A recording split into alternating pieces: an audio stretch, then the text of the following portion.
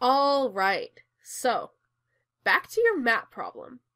You have a crusty old map to a buried time capsule that you want to go dig up. But the world has changed a lot since that map was created. You are able to locate a landmark that is on the map and still there today. How can you figure out the exact location of the time capsule?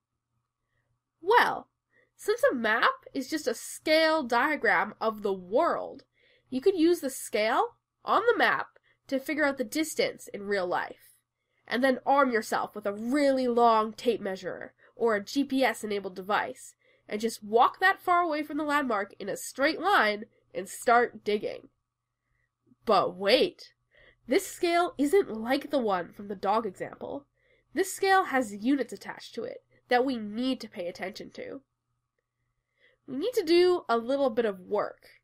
We take out our trusty ruler and measure the line next to the scale, which turns out to be 2.5 centimeters. So, 200 meters in real life is 2.5 centimeters on this map. We also need to measure the distance from the bridge to the time capsule. Using our ruler again, we get 6 centimeters. So now we know the scale of the map is 200 meters to 2.5 centimeters. And we need to figure out how long 6 centimeters on the map is in real life. We can set this up similarly to the dog question from the last video. 200 meters over 2.5 centimeters equals x meters over 6 centimeters. We want to get x by itself.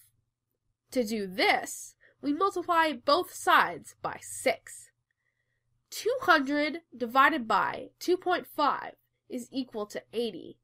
And then 80 times 6 is 480. So, the distance in real life is 480 meters. So, now you're able to walk exactly 480 meters north of that bridge dig around for a while, and eventually find the time capsule.